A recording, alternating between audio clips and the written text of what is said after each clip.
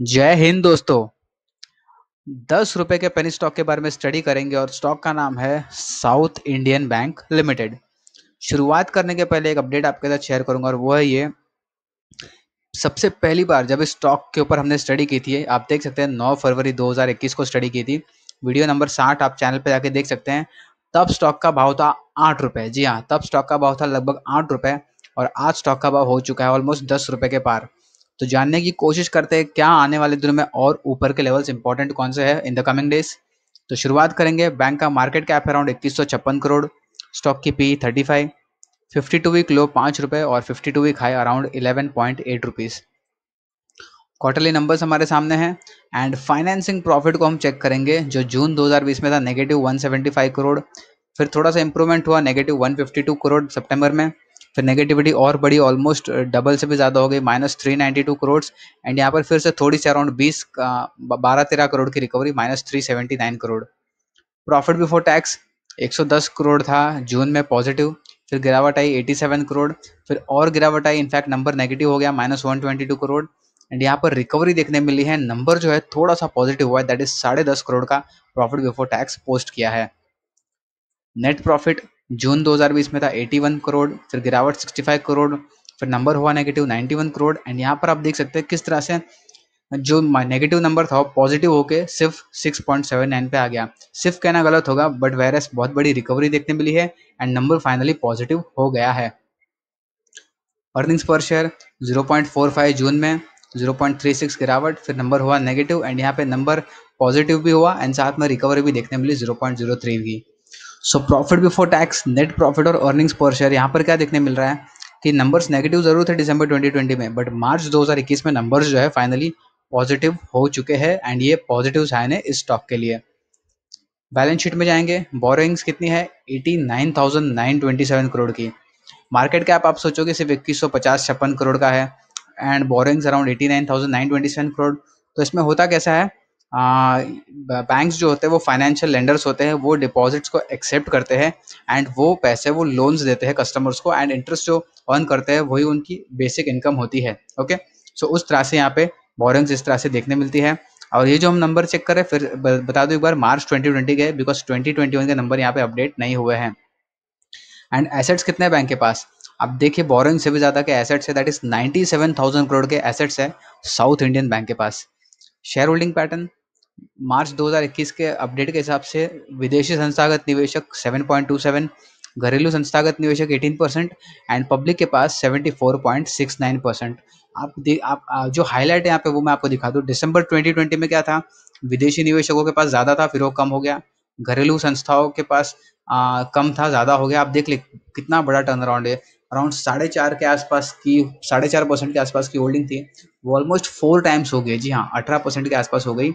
And public के पास जो eighty six था वो seventy four six point six nine हो गया है। सो so, पब्लिक के पास से होल्डिंग निकल के घरेलू संस्थागत निवेशक जो है उनके पास चली गए चले गए हैं शेयर यहाँ पे क्लियरली देखने मिल रहा है। अब चार्ट पैटर्न्स पे जाएँगे और ये पिछले कुछ एक साल के लगभग का चार्ट एंड स्टॉक किस तरह से चार्ट पैटर्न्स को फॉलो कर रहा है देख लीजिए। यहाँ पर स्टॉक ने यहाँ लगा दिया एक कर्व इसको मैं सेट कर देता हूँ। यहाँ पर स्टॉक ने लगा दिया कर्व और आगे जाएँगे तो स्टॉक ने यहाँ पे दूसरा कर्व लगा दिया। यस स्टॉक ने दूसरा कर्व लगा दिया। फिर और आगे जाएँगे तो हमें देखने क्या मिल रहा है? देखने मिल रहा है कि यहाँ पर जो है स्टॉक ने और एक कर लगा दिया, तीसरा, ये। कर्व लगा दिया एंड फाइनली स्टॉक जो है यहाँ पर पिछले दिनों किस तरह से नीचे आया? नीचे आया कुछ इस तरह से और वो भी एक ही चैनल में। देख लीजिए, एक ही चैनल में धीरे धीरे करके नीचे आया एंड फाइनली यहाँ पे कंसोलिडेट किया, फिर से ब्रेकडाउन हो गया एंड फिर जो है ऊपर की तरफ़ निकला। फिर ऊपर जाने के बाद क्या किया स्टॉक ने? यहाँ पर कुछ इस तरह से काम किया। ये हाई पॉइंट के साथ में लो पॉइंट जोड़ देता हूँ यहाँ पे ये। एंड यहाँ पर ये सारे लो पॉइंट्स को जोड़ देता हूँ। तो पता क्या चलता है? स्टॉक जो है फॉलिंग वेज पैटर्न में काम कर रहा है। जी हाँ लाइन को थोड़ा एक्सटेंड कर देता हूँ। स्टॉक जो है फॉलिंग वेज पैटर्न में काम कर रहा है। एंड आज के सेशन में स्टॉक ब्रेकआउट करने की पूरी कोशिश कर रहा था बट ऑल आई गेस कोशिश कर रहा है अभी भी, क्योंकि उसी लाइन के आसपास स्टॉक घूम रहा है। Okay next so presently stock 10.45 के आसपास काम कर रहा है। एंड बात करें रेजिस्टेंस की तो ऊपर की तरफ़ स्टॉक ने एक स्ट्रॉन्ग रेजिस्टेंस बना लिया है, वो कौन सा है? वो है ये 11.85 देख लीजिए 85 यहाँ यहाँ पे 11.85 चौदह में, और यहाँ पर 21 में 11.8 सो 11.8 11.85 स्टॉक का एक इंपॉर्टेंट रेजिस्टेंस बना लिया है स्टॉक ने, और इस लाइन को मैं कर देता हूँ कलर ग्रीन क्योंकि ये प्रेजेंट लेवल्स के ऊपर है। सो नेक्स्ट तेज़ी कब बनेगी? जब 11.9 को क्रॉस करेगा। 11 पॉइंट माफ़ कीजिएगा 85 11.885 इसको क्रॉस करेगा तब।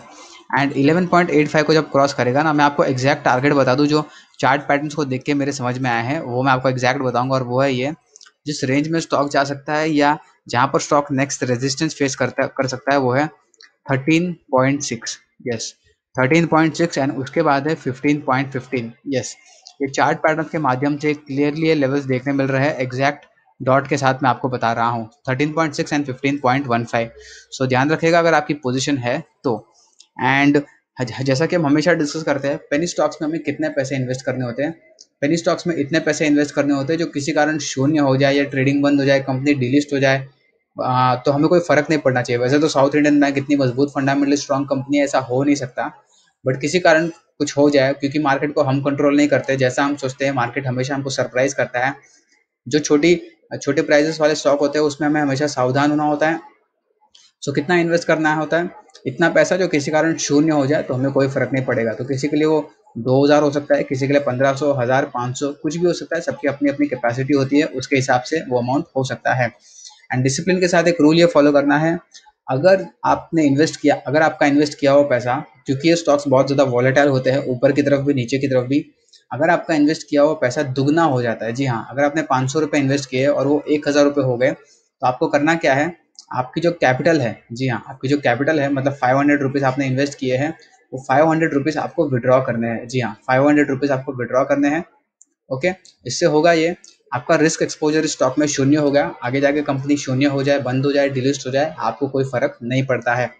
एंड दूसरे जो फाइव हंड्रेड रुपीज़ के शेयर है, वो आप उसके राइटफुल ओनर हो अब आगे जाके स्टॉक मल्टीबैगर बनता है, कोई बड़ा डिविडेंड डिक्लेयर करता है या फिर कोई पर्टिकुलर बेनिफिट देता है तो वो आप ही को मिलेगा क्योंकि वो शेयर आपके अकाउंट में है, आप उसके राइटफुल ओनर हो, वो शेयर्स आपके डीमैट अकाउंट में क्रेडिटेड होंगे ओके सो ये कॉन्सेप्ट होता है पेनी स्टॉक्स में ट्रेड करने का क्योंकि उसमें रिस्क बहुत ज़्यादा होता है, बहुत ज़्यादा वॉलेटाइल होता है एंड इतना ही पैसा इन्वेस्ट करना है जो किसी कारण शून्य हो जाए कंपनी बंद हो जाए, जिस तो उससे हमारे फाइनेंशियल स्टेटस पे, हमारी लाइफस्टाइल के ऊपर कोई भी नेगेटिव इम्पैक्ट नहीं होना चाहिए।